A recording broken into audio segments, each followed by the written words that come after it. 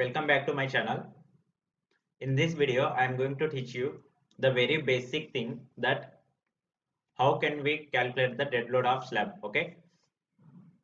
Since all of us know that density equals to mass upon volume, therefore mass equals to density multiplied by volume, okay? We can calculate the dead load of slab in three different forms. The first one is dead load per unit area.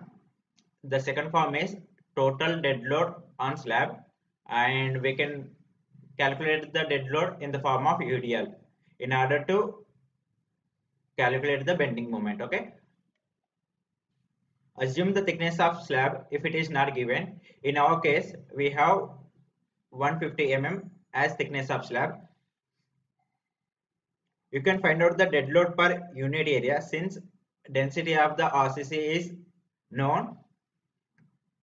Dead load of slab can be found out by density multiplied by slab thickness. Okay. Therefore, multiply these two value 2500 multiplied by 0.15 then you will get it as 375 kg per meter square. This dead load is per meter square. Okay here we are interested in finding out the total dead load of the slab okay? Total dead load of the slab can be found out by mass equals to density into volume. We know the thickness of slab we know the width of the slab and we know the length of the slab. So area can be found out by multiplying width and length. 6 multiplied by 8 which is equals to 48 meters. If you multiply this area with thickness of the slab then you will get the value okay? Here 0.15 multiplied by 48 this is the volume of the slab. Volume is multiplied by density which gives us mass okay?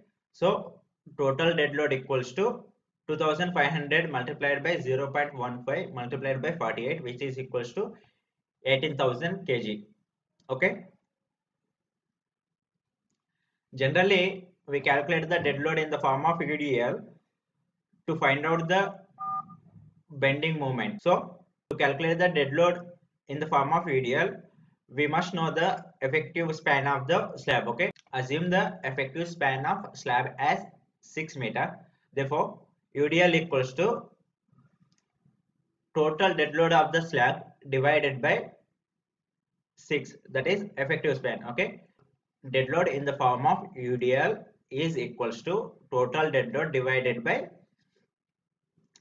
effective span which gives us 300 kg per meter okay? This is in the form of udl dead load is also can known as self weight okay?